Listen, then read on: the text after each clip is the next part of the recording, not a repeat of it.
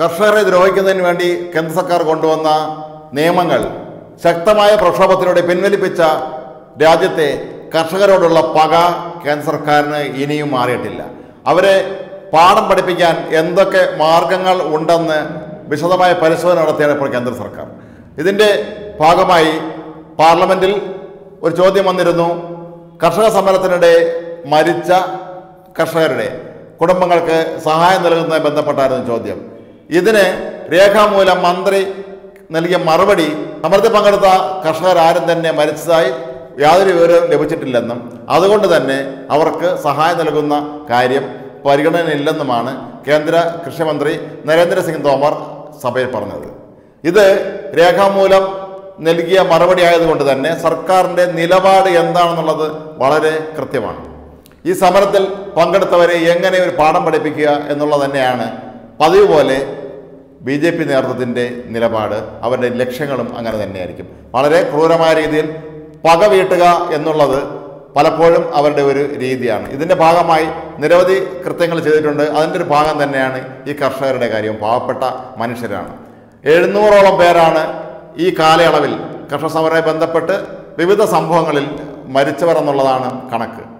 ഇവരുടെ കുടുംബങ്ങൾ ഇവരെല്ലാവരും സമ്പന്നരൊന്നുമല്ല പലരും വളരെ സാമ്പത്തികമായി ബുദ്ധിമുട്ടുള്ളവരാണ്.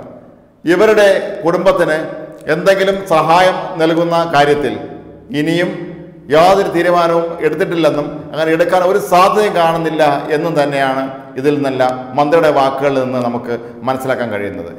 രാജ്യത്തെ പ്രധാന പ്രതിപക്ഷ നേതാക്കളെയൊക്കെ തന്നെ പാർലമെന്റിൽ നിന്ന് സസ്പെൻഡ് ചെയ്തുകൊണ്ട് കൂടി ഇതിനെതിരെ ഒരു പ്രതിഷേധവും ഇനി അംഗീകരിക്കില്ല എന്ന ഒരു മുന്നറിയിപ്പ് കൂടി നൽകിയിരിക്കുകയാണ് കേന്ദ്ര സർക്കാർ. രാജ്യത്ത് ജനാധിപത്യ സംവിധാനമാണ് എന്നാണ് നമ്മുടെ സങ്കല്പം. പക്ഷേ ഈ സർക്കാർ മോദി സർക്കാർ ആദ്യ സർക്കാരും രണ്ടാം സർക്കാരും എല്ലാം തന്നെ ജനാധിപത്യം എന്താണെന്ന് ഞങ്ങൾക്ക് അറിയില്ല എന്ന രീതിയിലാണ് പൊതുവെ പെരുമാറുന്നത്. ഈ കർഷകർ നടത്തിയ അതിശക്തമായ പ്രക്ഷോഭത്തിന് മുന്നിൽ സർക്കാരിന് ഒടുവിൽ മുട്ടുമടക്കേണ്ടി വന്നത് ബി ജെ പി നേതൃത്വത്തിനും നരേന്ദ്രമോദിക്കും അങ്ങേയറ്റം നാണക്കേട് ഉണ്ടാക്കിയ സംഭവമാണ്.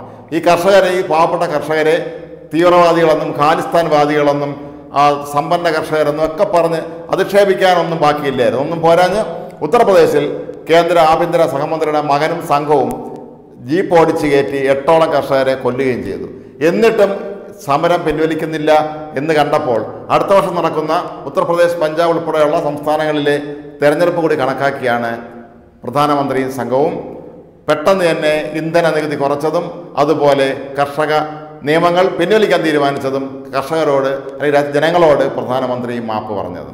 എന്തായാലും ഈ മരിച്ച മനുഷ്യരോടുള്ള ഒരു സഹാനുഭൂതിയെങ്കിലും കേന്ദ്ര സർക്കാർ കാണിക്കണം. അവരെ സഹായിച്ചില്ലെങ്കിലും അവരെ നിന്ദിക്കരുത് എന്നുള്ളതാണ്. ഈ ഇങ്ങനെ മരിച്ച ആളുകളെ അങ്ങേറ്റം അധിക്ഷേപിക്കുന്ന രീതിയിൽ തന്നെയാണ് ഇപ്പോൾ മന്ത്രി ഈ പ്രസ്താവന നടത്തിയിരിക്കുന്നത്.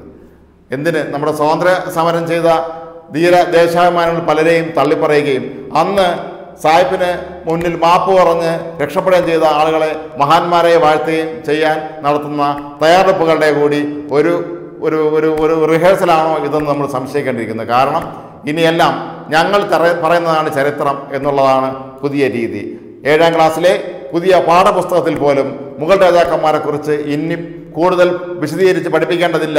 അവരെ പോഴ്ത്തുന്ന ഭാഗങ്ങളുണ്ടെങ്കിൽ അത് മാറ്റണമെന്നും റാണ പ്രതാപ് സിംഗിനെ പോലെയുള്ള രജപുത്ര രാജാക്കന്മാരുടെ മഹത്വങ്ങൾ മാത്രം പറഞ്ഞാൽ മതിയെന്നും കോൾ മാർക്സിന്റെ തത്വങ്ങൾ ഇനി പഠിപ്പിക്കുന്നതിന് മുമ്പ് ഗുരു നാനാക്കിന്റെ തത്വങ്ങളാണ് പഠിപ്പിക്കേണ്ടതെന്നും റഷ്യൻ വിപ്ലവം ഫ്രഞ്ച് വിപ്ലവം ഒന്നും നമ്മുടെ നാട്ടിലെ കുട്ടികൾ ഇനി അധികം പഠിക്കേണ്ട എന്നുമാണ് ഇവർ നിയോഗിച്ച സംഘി ചരിത്രകാരന്മാരുടെ അല്ലെങ്കിൽ അതിന്റെ വിദഗ്ധന്മാരുടെ നിർദ്ദേശം. ഇത് പാർലമെന്ററി സമിതിക്ക് മുന്നിലും ഇതെത്തിയിട്ടുണ്ട്. ഈ ഒരു സാഹചര്യത്തിൽ കർഷകർക്ക് വേണ്ടി പൊരുതാൻ ഇനി ഈ നാട്ടിലെ ഇടതുപക്ഷ സംഘടനകൾ മാത്രമേ കാണൂ എന്നുള്ളതാണ് യാഥാർത്ഥ്യം.